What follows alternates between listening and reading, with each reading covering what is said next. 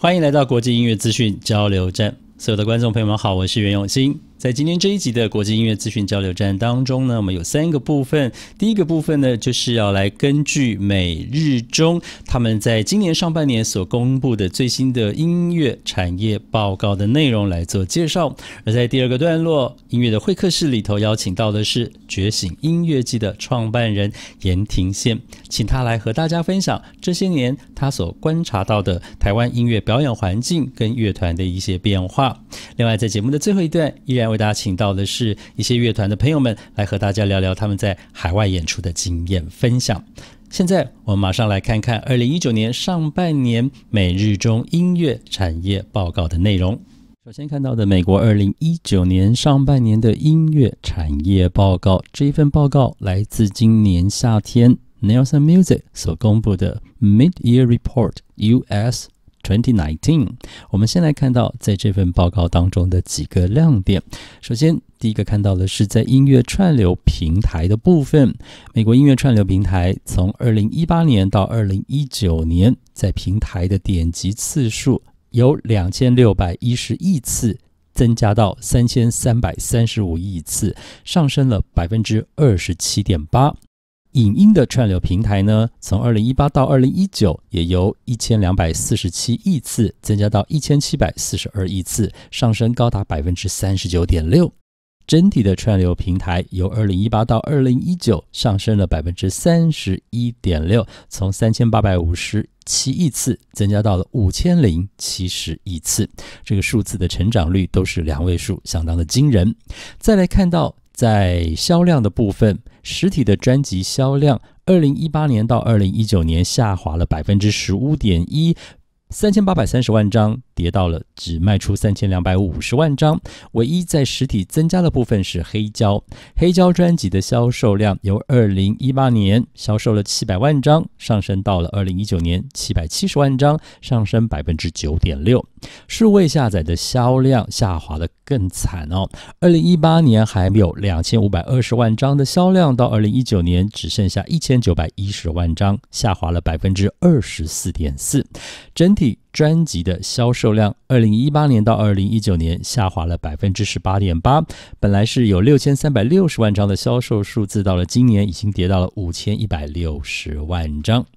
在接下来，我们来看到的是，在今年美国二零一九年上半年音乐产业报告里头的几个现象。第一个现象。这是 trap 还有 mumble rap 的受到欢迎。其实这个风格也有影响到我们的华文歌曲哦。华语歌曲在今年周汤豪 I Go 就选择了这样的曲风，而 trap 跟 mumble rap 的乐风影响力持续的发威，得力于 New Nexus。Travis Scott，还有 Post Malone、J. Baby 等人所造成的旋风。其他的乐种，像是在当代都会流行雷鬼，还有成人流行抒情，也都在全美的排行榜上各霸一方。紧接着再来看到的是第二个现象，那就是美国新生代女歌手话题不断。从去年底 Ariana Grande 的 Thank You Next 夺冠开始，到今年年初，她一个人的歌曲就独占 Billboard 排行榜的前三名。之后，十七岁的 Billie Eilish 又引爆了新时代 Art Pop 的难以归类独特性，成了第一个本世纪出生的夺冠歌手。还有就是 Taylor Swift 今年夏天的新专辑接棒推连出的话题 MV，让美国的新一代的女生声势，在二零一九年的上半年是持续不坠的。在接下来我们看到的第三个现象呢，是影视声量持续影响着销售还有点击量。从去年底一个巨星的诞生，有波西米亚狂想曲这个热潮烧到今年，陆续有 Elton John 的传记电影《Rocky Man》，以及几部 Netflix 的音乐纪录片带动的关注，像是 Motley Crue 的《The Dirt》。以及灾难音乐节 Fire 纪录片，还有碧昂斯的 Homecoming，以及 HBO 关于 Michael Jackson 的 Living Neverland，这些影视热点都反映在影音串流平台跟销量上。仔细来看，好比 Elton John，他的销售成绩上升了百分之八十四；Lady Gaga 所唱的 Shallow 更是突破了十亿的点击量。j e r u 他因为在 Fire 这一个搞出大乌龙、史上最大灾难的音乐节里头的出现，也让他的作品销量上升了百分之三十三。Motley Crew 以他们在八零年代的疯狂过去所拍成的纪录电影，更是让 Motley Crew 的整体销量。上升了百分之六百八十三，是这一波里头成长最惊人的。Michael Jackson 在 HBO 频道播的《Living Neverland》也让他的作品上升了百分之四十一的销售量。另外，《波西米亚狂想曲》Queen 的传记从去年延烧到今年，在今年的上半年还卖出了七十三万一千张的销售数字。以 Coachella 的表演变成的纪录片《Beyonce 的 Homecoming》也在它的第一周就有三万八千张的漂亮数字。紧接着，我们再来看到的是美国二零一九年上半年音乐产业报告的第四个现象，那就是 K-pop 和拉丁势力各抱一方。过去所谓的美国梦，就是不管你来自任何地方，美国这个市场永远是你可以试着去闯出一片天，让你可以享受美国梦成真的一个大市场。而就在过去的这几年，K-pop 还有拉丁势力。似乎已经站稳了脚。韩国 BTS 跟 Blackpink 陆续在今年上半年创下了单周 YouTube 点击量破全球的纪录之后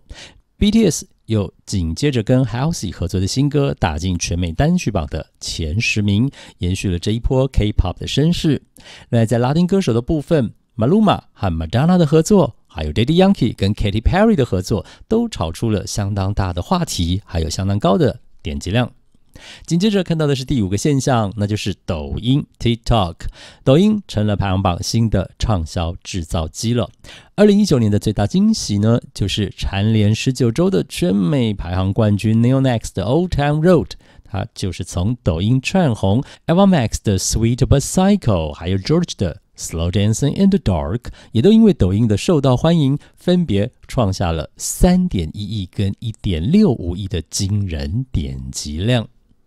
再来呢，我们看到的第六个现象，那就是意外出现的一首长销的儿歌啊。原本是二零一六年南韩教育机构 Pink Fox 所制作的儿歌《Baby Shark》，在 YouTube 推波助澜之下，二零一九年的上半年，全美的单曲榜上待了超过二十个星期，总共高达三点九五亿次的点击量，成了它变成流行榜上最意外的长销儿歌。最后看到的第七个现象呢，那是电玩还有电竞的活动所带动的点击销量，连续两年跻身 DJ Mag 百大 DJ 榜单前十名的 Marshmallow 棉花糖和游戏 Fortnite 要塞英雄，举办了一场所有玩家都能够参与，而且它只存在于虚拟世界的音乐 DJ 秀。这场活动。让 Marshmallow 的专辑销量成长了百分之三百一十六，而他们和 Bastille 合作的单曲 Happier 更是拿下了 Billboard 舞曲榜 Hard Dance Song 这个榜单上面一共超过了五十周的冠军，真的是空前的历史记录啊！以上就是根据美国 Nielsen Music 所公布的美国二零一九上半年音乐产业报告的内容和几个重要的现象。紧接着，我们再来看到的是。美中贸易打得非常的热，我们就来看看中国二零一九年数位音乐版权研究报告。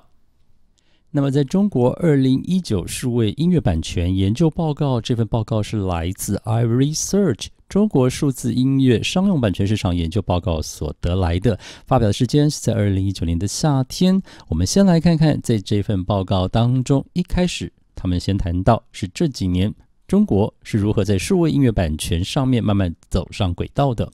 二零一五年的七月份呢，最严版权令出现了，也就是有这个版权令，它扫荡了全中国所有非法的盗版下载音乐网站，也因此让整个数位音乐在中国的市场有了一个新的起步。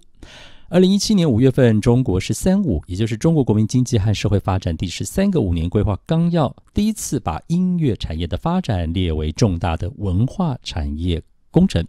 也就是一个风向球的出现之后，我们看到二零一八年的九月份，这份统计告诉我们，中国用户端使用正版的数位音乐平台比例居然已经超过了百分之九十了。过去盗版下载或者是听盗版音乐的情形。早就已经不在中国现在的日常生活当中了，这是一个很大的突破。但是我们如果再把数位音乐的历史往前追溯的话呢，其实中国的音乐著作权学会的成立或是集管制度的开启是在一九九二年，一九九四年才有第一个版权授权机构，也就是 BNG 松巴音乐进到了中国的市场。西元两千年，中国正式的启用了数位音乐。换言之，数位音乐到中国现在的发展还不到二十年哦。二零零九年，第一个在版权争议上的官司获得了胜诉之后，我们这样纵观的看下来，在两千年之前呢，中国的数位音乐还在启蒙期；两千年到二零一五年的最严版权力之间，算是一个整顿期；二零一五年七月之后，才算是它的商业起步期。换言之，中国数位音乐版权的这一块，它的商业起步都还是相当的年轻。不过四五年的时间，紧接着我们再看到 iResearch 的报告当中谈到的中国数位音乐商用版权的市场规模，二零一八年呢，在这一块是一点九亿人民币，预估今年呢会足足增加百分之两百到三点八亿人民币的规模，预估二零二零年会到十一点四亿人民币，二零二一年会有二十八点五亿人民币。二零二二年会跳到五十七亿，二零二三年会有八十五点五亿人民币。它几乎不是百分之几的成长，它是百分之几百的成长。在这个过程当中，你可以相当看好二零二三年过后的中国数位音乐商用版权的市场规模，可能就要突破一百亿人民币了。再来看到的是，二零一八年全球音乐版权的营收有一百九十一亿的美元里头，环球、Sony。华纳这三家唱片公司就占掉了百分之六十八点六的份额，其中曲库的数量同时占据全球录制音乐曲库版权数量的百分之八十九点一，相当九成了哦。全球音乐版权市场呈现出版权的数量跟营收都是双双高度集中的一个情况。相较之下，中国音乐版权市场呢，却是出版的数量跟它的价值是割裂的、分裂的一个现状与趋势。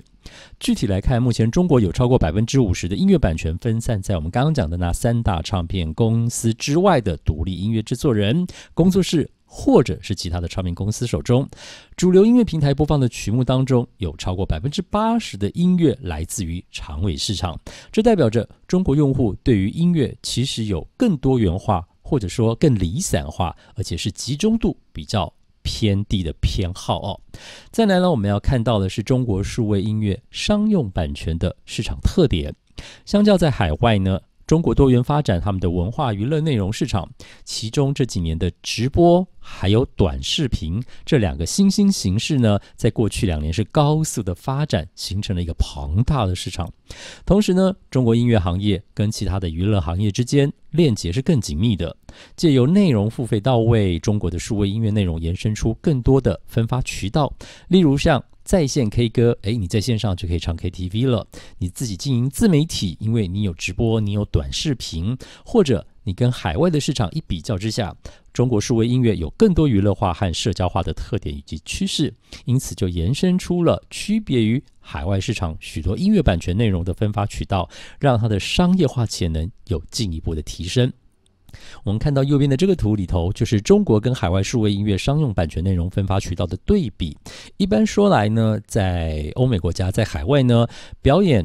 哦，广播、公播、演出表演权就是这个，但中国又多了一个音乐综艺，好比我们说刚刚讲到的。这个在线上唱 KTV 或者只有直播短视频的娱乐平台，那么在 Sync 就是广告影视的同步权呢，一般世界各国海外呢涵盖的就是广告啊、游戏啦、电影电视剧。不过中国又多了短视频、直播、在线 K 歌，还有自媒体。所以你看得出来，中国数位音乐商用版权的市场特点就是相当的多元，它不会过度的集中在某几个项目当中。接下来我们来看看。中国数位音乐商用版权市场的未来趋势，这是根据 eMarketer 的数据。二零一八年呢，中国广告主数位广告预算的规模达到了六百五十四点二亿美元，预计到了二零二一年投入的预算就有可能突破一千亿美元。在这么庞大的预算规模当中呢，目前平均大概有百分之零点五的比例是归属于广告配乐和背景音乐的成本投入。假设这个比例维持现状，到了二零二三年，广告营销领域的音乐版权成本将能够达到四十五亿元以上。同时，由于数位音乐商用版权交易平台的出现，对于广告主来说，使用正版音乐的成本也降低了，因此会有更多中小型的企业将会有能力为数位音乐的商用版权来做付费。比较两个图，一个是二零一八到二零二三年中国广告主在数位广告投放的预算规模，你看到在去年二零一八年是六百五十四点二亿人民币。今年过完可能会到七百九十八，就将近八百亿的人民币。二零二零年会到九百四十五点八亿人民币，到了二零二一年就破了一千亿人民币了哦。一直到二零二三年会成长到一千三百四十二点八亿人民币。这是在数位广告的投放。换到右边这个图，我们看到是中国短视频的市场收入规模。二零一六年刚刚萌芽，只有十九点亿人民币。二零一七年是五十五点三亿人民币。可是，二零一八年一下跳升了好几，不能到十倍了哦，将近十倍，已经到了四百六十七点一亿。可是就在今年二零一九年，它已经突破一千亿了。二零二零年会到一千五百零六点四亿。换言之，二零二零年在短视频的市场规模已经超越了另外。这张图，也就是我们前面讲到广告主的广告投放预算规模，到了二零二一年呢，二零二零年会高达两千一百一十点三亿人民币，远远的超过了中国广告主在数位广告投放的预算规模了。所以，中国短视频的这个市场，包括像抖音、TikTok 在内，真的是不可以轻忽它的潜力哦。接下来我们看到了，就是在这个未来趋势当中，版权交易平台化将会成为一个新趋势。罐头音乐之外，还可以满足企业来做定制化的需求。未来随着企业客户的增长，这个资源对接也比较丰富了。对音乐制作人来说，对音乐公司来说，提供付费的增值服务，比如说 ISRC code 的追踪，或者是提供更多数据的分析，这些都将更有利于版权交易平台的商业化生存和发展。最后，我们看到在这一份报告里头也谈到的。官方机构组织引导建立更有效的价值评估体系的重要。首先，我们看到目前美国，诶，就在今年川普签过的《美国音乐现代化法案》，这是包括了美国作曲家、作家与出版者协会 （SCAP），还有音乐广播公司，也就是 BMI，还有欧洲戏剧作家和作曲家协会，也就是 CSAC，这些涵盖在内，他们所采用的方式呢？可以让中国音乐著作权协会监督为歌曲的授权，还有曲库的授权制定一个定价的标准，本着交易双方意愿为主导的原则，再由传播量和影响力等等市场的因素决定音乐版权的最终价格，或者呢，参考韩国文化院 KOKA，或者是韩国著作权协会。所建立起的韩国文化内容价值评估模型，让官方的著作权机关组织或者是更上层的版权监督机构，为包含音乐在内的版权内容制定合理的价值评估来当依据。例如呢，韩国的官方建立起一套标准化的文化内容作品价值评估模型，而且它连通到银行、连通到金融监管部门等机构，让资本市场能够按照相对应的价值对文化内容作品给予投资。以上就是我们提供给大家的中国二零一九年数位音乐版权的研究报告。先后看完了美国二零一九年上半年音乐产业报告，还有中国二零一九年数位音乐版权研究报告之后呢，最后一起来看到的是根据日本的 RIAJ，也就是 Recording Industry Association of Japan 日本唱片协会在二零一九年所公布的上半年音乐产业报告。首先看到的是他们的录音著作，包括了 CD、黑胶、卡带等等，在实体的部分成长了百分之二点六，来到七点二二亿美元。这个数字比去年漂亮一点，但还是不及二零一七年风光。紧接着再看到的是串流的部分，串流收益呢，包括了付费的订阅，还有广告的点击，也成长了百分之二十七点五，来到一点九四亿美元。看得出来，从二零一七到二零一八。到二零一九，它是相当稳定的步伐在成长的哦。接着再看到的是，包括了 DVD 或者是蓝光等录音著作的影音产品，在这个部分在实体上面下滑了百分之十点八，来到三点九一亿美元。虽然比二零一七年上半年的表现漂亮，可是跟二零一八年相较之下，这个跌幅算是比较大的。因此，我们把刚刚上面这一些所有的产值加总起来，一起来看到的就是实体跟数位合并，最后是下滑了百分之零点二五。前一年的十三点七亿美元，下滑到这一年的十三点五亿美元。当然，这并不影响日本还是全球第二大音乐市场的情形。目前在这个报告当中，我们看到了几个现象。第一个，日本的串流市场已经连续三年成长超过了百分之二十。第二个，日本串流市场呈现了几年前英欧的高速成长，而今天的英欧市场的串流发展已经进入到一个成长平原期了。日本市场在二零一九年上半年，国内艺人的占比超高，高达百分之八十九点六。非日文的系统也是国际艺人的收益占比只占日本的百分之十点四，所以在日本市场，真的他们音乐收听习惯真的是听日文本土的歌曲占比是比较高的。以上就是我们在今天国际音乐资讯交流站所带给大家二零一九年上半年的每日中音乐产业报告。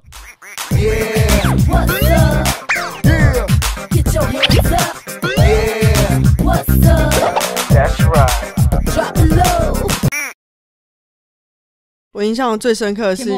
对，就是有一次去北京天幕音乐节，因为它是一个沙漠，我们第一次在沙漠那种很辽阔视野上表演，然后舞台也很大，就是演起来的心态就会变得很大、很辽阔、很辽阔、很那一次真的很印象深刻。对，没错，然后一边唱歌还会吃到沙子，对，因为那个沙就很像蜜粉的感觉，就是你会一直不断吸进去，然后。然后风非常的大，所以我们三个人都把头发绑起来，对，也没有再管造型了，所以我们就好好的演出这样子，对，印象很深刻。最大的收获，我觉得是因为地域性的氛围都不太一样，像比如说遇到的观众，他们都像欧美的话，就会变得很开放、很 enjoy 在表演的当下的状态，所以我觉得跟地域不同地域的观众互动是最大的收获。嗯。我也觉得跟观众的互动还蛮，就是每一场不同的场地，然后不同的地方、国家，其实都会有蛮大的差别。嗯，对啊。然后 P A P A 其实也会也是会，嗯，就是可能他们控的 sense，可是这可能跟国家没有关系，这是本来每个人的那个 taste 就不一样。就是在我们做好完整表演的准备前提之下，到那边可能这更在乎的是那个现场的 vibe，而不是呃我们一定要演的很精致或怎么样。更期待的是，就是观下观观众台下观众给我们的互动，然后的反馈，在那个当下所呈现出来的感觉，嗯，那个是还反而是最重要的。嗯，我们呃出国演出前一定会准备，就是因为我们知道语言的方面可能会有不同的问题，所以我们就尽量把音乐的渲染力再做的更更出来一点。比如说我们会带鼓手啊，然后或是歌的选择上。就是还是会尽量符合当地的民情之类，讲的好深奥，到底是怎么选？然后还有呃，就是在海外演出，因为毕竟就是这个机会是很珍贵，所以其实，在我们准备演出的歌单或是编曲的编排上，我们会选择可能比较多元性的，就是比较可以呈现我们不同的样貌，比如说曲风啊、歌类型。然后就是用我们现场的渲染力再把它表现出来。然后我还是相信相容性这件事情，就是去国外还是会唱一点英文歌，嗯，至少一首、两首也好，因为我发现唱那个他们眼神马上就醒来，哦，我听得懂你在讲什么，这样子。我觉得首先要先忠于自己的味道，因为放到一个不同语言的市场，大家都是凭音乐在感受那个。就最纯粹的东西，所以就是忠于你自己的原味是很重要的。嗯，就是你特别，大家也会看见你特别。对，就是展现自己想要展现、呈现出来的表演这样子。嗯，我觉得创作灵感来源真的太多了，可能海外演出有占部分的因素，然后还有很多更多是生活的经验或者什么的。但是海外演出的确对我们蛮多启发性的，就是回台湾之后可能看了那些国外乐团的现场，对。然后就觉得哇大开眼界，对，然后回来就觉得自己还有很多地方可以再做的更好的。因为很难得有一一次机会是可以看到各种各个国、来自世界各地的高手们对对。的不同音乐风格，嗯。所以这是一个非常快可以吸取很多养分的一个活动。对对，我我觉得这个我可以先先补充，就是，呃，我觉得吉他带是非常重要的。就是其实呃，像我之前我们是去泰国参加那个 K Expo 一个呃曼谷蛮大的音乐节，然后那我当时是用了一个比较没有质可能质量没有那么好的硬壳的吉他壳。那当到了当地之后，就发现它吉他的那个痛那边已经全部被压碎了。就我当时是吉他是完全不能用，所以其实要保护好乐器，最重要就是用一个非常好的袋子，然后千万不要省那个 省那个钱，这样子。但是好，我是可以接他后面。但是就算你换了一个最好的袋子，其实我这次就是我们都一起换了那个袋子之后，我的袋子还是被航空公司烧破一个洞，所以这种事真的很难说。但是前期如果你可以准备一个好袋子，当然是首选。但是后期如果烧破，还是可要哦非常主动的去。对，还有一点就是自己可以准备保险。对，就是因为我的袋子被烧破了，然后还好我有保险，所以我有我有申请理赔，他们愿意就是赔我一点费用。对，就是嗯除了嗯跟航空，就是一到了如果发现乐器或者是吉他有什么损坏，就马上要跟航空公司讲这个提出这个疑问，然后或然后你自己额外一定也要在保险，才会才会确定事情不会太 太令人伤心对。至少以我们经验，国内感觉有一点点有草有糖吃的感觉，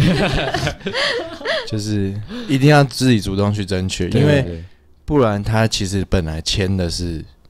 他是没没有帮你负责的。哦，而且是你一拿到行李，你当下就要马上检查，如果有问题，千万不要忙出去，你要直接在里面把这件事情办好。没错，对，就是这样。嗯，还有一定要照顾身体的健康，就是备药一定要备超齐，对对对就是我们每次都带一堆的感冒药，一堆的 胃药，还好都没有被询问，这是为什么是带那么多药来的。对，很多的药粉。然后我我们这次去美国，因为去到纽约那时候刚好很冷，所以我们就自己带睡袋，我觉得还蛮好的。因为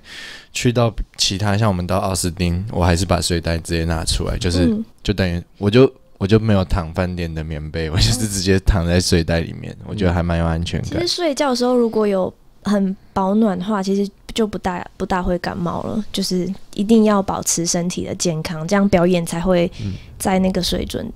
上。对，对但是睡袋要可能预算要提高一点，可以把那个重量减轻，重量减轻，然后可以保体积又变小因为我怕大家听了就带超大的睡袋，然后整个都是觉得靠乱推这样。我觉得说不定钟林跟我想到的是同时想到的那个德国那一场，哦，因为当时的那个 promoter 好像就是他自己有一些问题，所以他其实我们到场的时候发现是没有音箱的，嗯，一颗音箱都没有。那然后还好我们那时候同行的音控方博就很很机智的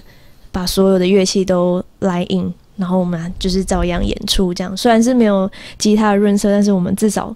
有把那一场表演做好。嗯，对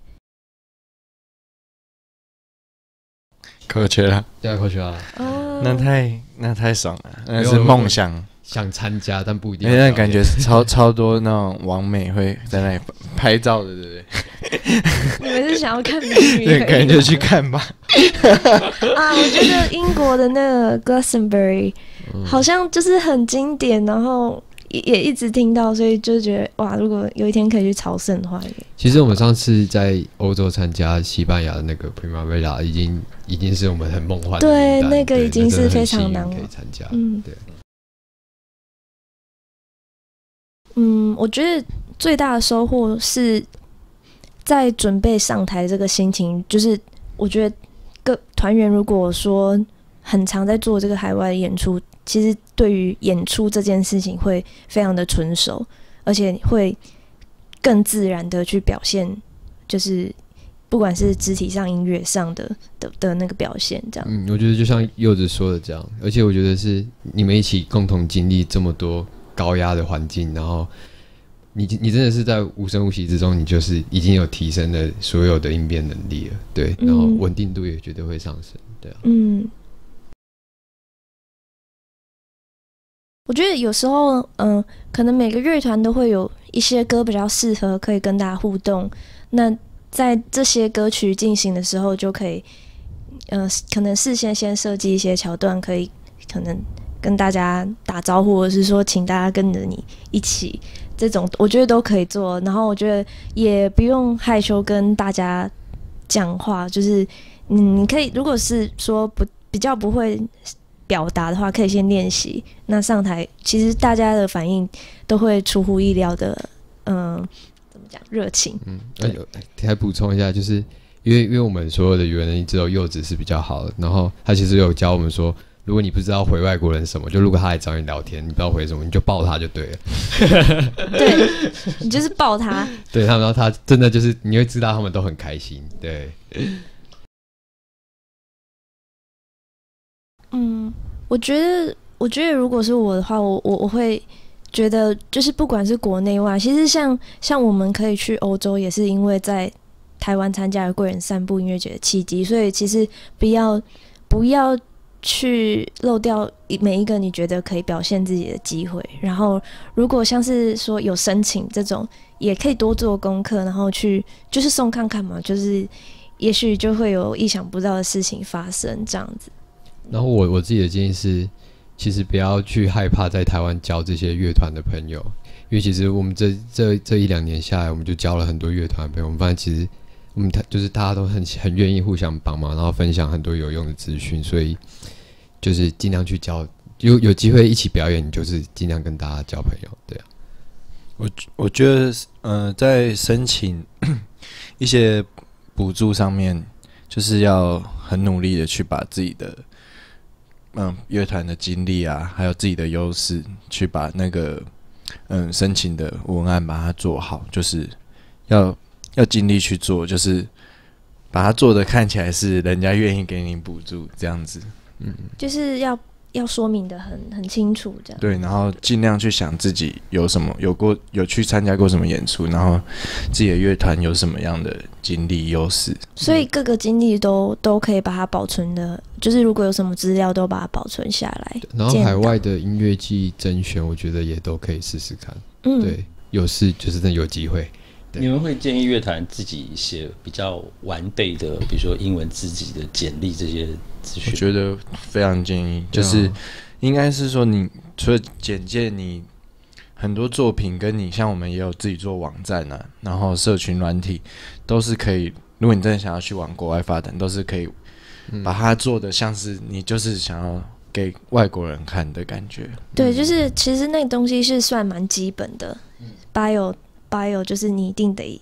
一定得要有的，所以在在还一切还没开始之前，这些东西就是要自己先准备好。对，要怎么用简短的文字就介绍你的乐团，然后是什么样的组成风格，怎么等等这样子。我觉得我们当然是自己非常幸运，遇到很多很好的机会，但也是我们一开始就真的很想往国外发展，所以我们的东西都会把它，我们也会让人家看到我们是想要往国外走的。嗯，要要让人家知道你有那个动力，嗯，对就就这个动力是很正向的，也会影响到很多人。以上就是我们今天带给大家的国际音乐资讯交流站。希望在今天的节目内容安排上面，能够给大家非常多丰富而充实的内容。谢谢大家的收看，我是袁永新，和大家说声拜拜。